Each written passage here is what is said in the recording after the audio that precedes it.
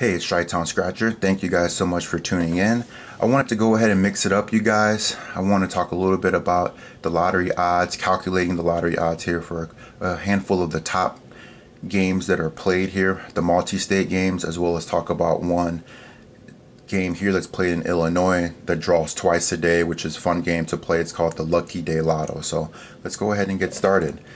The Powerball game, as you guys know, it plays every Wednesday and Saturday and you can pick five numbers. Your first five numbers are going to have options of 1 through 69, followed by your sixth number, which is the Powerball number, and those are going to be numbers 1 through 26. And each line is $2. There is also a another feature of the game where you can do a power play option, which is uh, a multiple. There's a multiplier effect there for your non-jackpot winning prizes you can win you know two times three times four times five times and so on and so forth if you were to add an extra buck per line for that particular uh, ticket. But just the basic play is two dollars per line. And so as you can see the first number that's drawn is going to be 1 through 69 right? And then the second number you're only going to have 68 remaining. And then once you draw that second number you're left with 67 you're going to draw that fourth number and then your fifth number. So it kind of cascades down and you're only picking five balls. So as you can see, for each number to touch one another, it'd be 69 times 68 times 67 times 66 times 65. Okay. I'm not going to talk about permutations and combinations in this particular video in, in great detail. I'm just going to give a high level, but ultimately that's sort of some of the math that's that's going on behind the scenes here in order to have each one of these combinations touch one another. Also means that there's going to be some duplicate combinations within there because we don't necessarily care if our numbers come in the exact order so long as they just show up within those five numbers right? So you're going to have some duplications in there in these combinations when you calculate the 69 through the 65 so in order to remove those duplications you're going to have in this denominator a 5 factorial and again, it's a 5 factorial because we're picking five numbers here. And then that's going to translate into what you see down below to the left. So you're going to have 1.3 billion combinations and you're going to divide that by that 5 factorial to get essentially 11.28 million unique combinations and then finally on that last ball the 1 through 26 the 11.2 million combinations would touch each one of those balls 1 through 26 which then brings you to a final result of 292 million 201,338 unique combinations. Okay, and that's going to be expressed as simply 1 in 292 million 201,338. So if you look at the back of the ticket in the grand prize area, that's exactly what you're going to see if you're looking at, again, this Powerball game. And theoretically, what that suggests is that because uh, again each line is two dollars that if you were if you were to buy every single one of these combina- these unique combinations that will cost you essentially 584.4 million dollars. And theoretically if you were to do that then you should win. But it wouldn't really make sense to do that unless of course on an after tax basis you could make far more than what you're spending. And again that's assuming that you're the only winner and that uh, there aren't uh, multiple winners. So I thought that was just a pretty interesting breakdown here of how you calculate that, and that's how they come up with those odds, you guys. Let's go on and look at another game.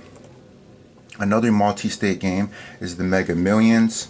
This particular game draws Tuesday and Friday, and the first five balls, it's essentially the same thing except it's going to be 1 through 70. That's a 1 through 70, 7 0 and then basically same math you're going to pick one number 1 through 70 and that leaves only 69 numbers left. You'll pick a number that leaves only 68 and then just down the line for your first five balls. And as a result you're going to have some duplication there. So you're going to want to eliminate the duplication by dividing by that 5 factorial okay? As a result, you're going to be left with 12.1 million unique combinations. This particular game has 25 for that sixth number, so it's 1 through 25 for the Mega Ball. And so you're going to have the 12.1 million combinations touch each one of 1 through 25. And that's how you're going to get to your overall odds of 302 million 575 1,350 and again that's expressed on the back of the ticket as an overall odds of 1 in 302,575,350 and again theoretically if you were to buy every single one of those combinations because again the cost of the ticket is 2 bucks this game also have that they have a megaplier uh, effect as well for an extra dollar per line. You can multiply your non-jackpot winnings. But again just the basic core of the game is $2 if you don't opt for that megaplier and if you were to spend 605 million, you would theoretically cover every single number. And again, it would not make sense because you would want to make sure the jackpot is probably in the billions, low billions on an after tax basis uh, in order to break even or at least to make a profit from doing that. But in theory, if you were to do that, that's what would happen, assuming that you're the only winner, of course. So those are the odds. That's how you calculate them. And one cool game here that we have in our state in Illinois is the Lucky Day.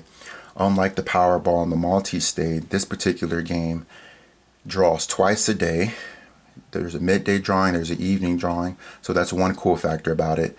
There's also uh, only five balls, so you're picking one through five. There isn't, or, or excuse me, one through 45, so there isn't a sixth ball. And then the cost of this game is only one dollar a ticket. As of right now, it's only one dollar a ticket. And so basically the math applies. It's gonna you're gonna pick uh, 1 through 45 and as you can see the first ball that's all 45 so once that ball one of those that first ball is pulled then you're only left with 44 balls remaining. And then another ball is pulled you're left with 43 and then all the way down the line until five balls are pulled. So each one of those numbers would touch the other. And as a result you want to eliminate some of the duplications as well within that because again the order doesn't matter. The exact order doesn't matter in which the balls come so long as your unique set of five shows up. And so to remove the duplicate the duplicative effect you're going to divide by that 5 factorial and you're going to be left with an overall odds of 1 in 1.221 million so theoretically, if you were to spend that 1.221 million, you would have played every single combination and you would theoretically win because there would be no other uh, combinations, right? Because you would have covered all of them. So in theory, you would want every single, you would want the prize, the jackpot amount to be far more than the 1.2 million uh, on an after-tax basis, and then that way you would actually make a profit if you were to buy every single one of those. I don't recommend doing that, but um, in theory, that's what that's what should happen.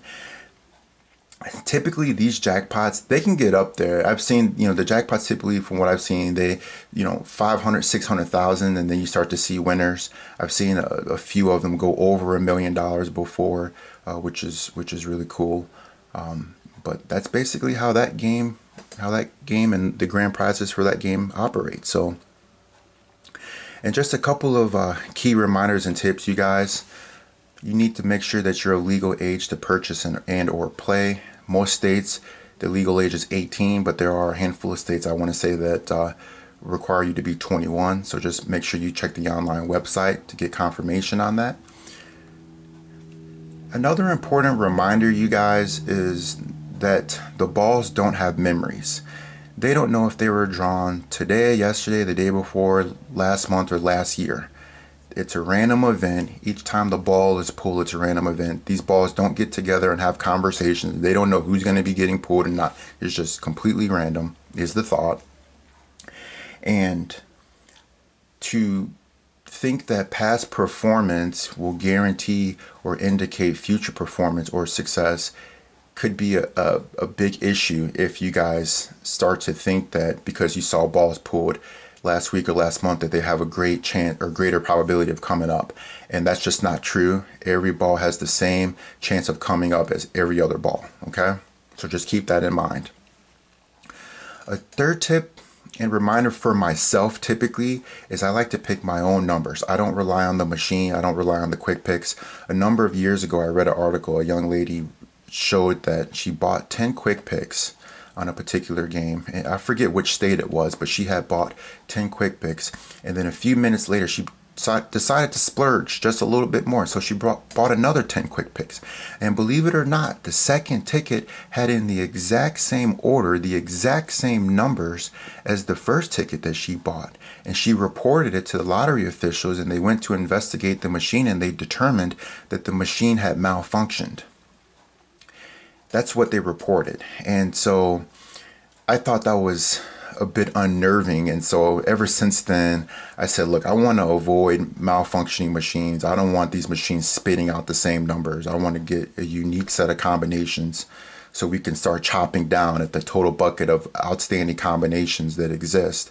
And as a result, I pick my own numbers. So that's just a reminder to myself. You guys can do whatever you want, pick your own numbers, have the machine pick them, but for me, I like to pick my own numbers. Another important reminder is you guys just make sure that you play for entertainment only.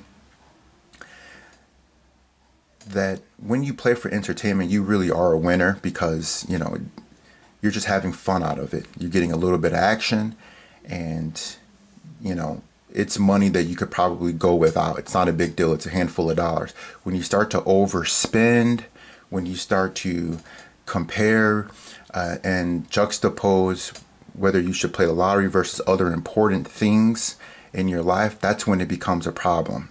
You should never put the lottery in front of anything else in your life because your your personal expenses and, and other things that you need to make sure you take care of should come first. So just make sure that if you're going to play, play for entertainment only. And the last sort of reminder here is just make sure you play responsibly. And I think that setting a budget, keeping to a budget is important, but if you can also share the risk of playing, so if you can get into a pool or if you can play with other players, maybe you buy a Powerball ticket for $2, but if you get in a pool with four other players, that's now a total of $10 and that's going the prize if you guys were to win will be split five ways. So if you guys get lucky and you win the grand prize, hey, chopping it up five ways is is pretty good you know and all you and you got ten dollars worth of action for only two bucks. So i think that's a very smart way to manage your risk and to spread that across uh, and, and play with other players. All right. So with that being said i hope you guys learned a little little something new today. Let me know in the comments what you think and i plan on doing a couple more sort of uh, lottery informationals uh, let me know if you guys have any ideas of what you want me to cover but just want to try something new. So until next time, have a good one.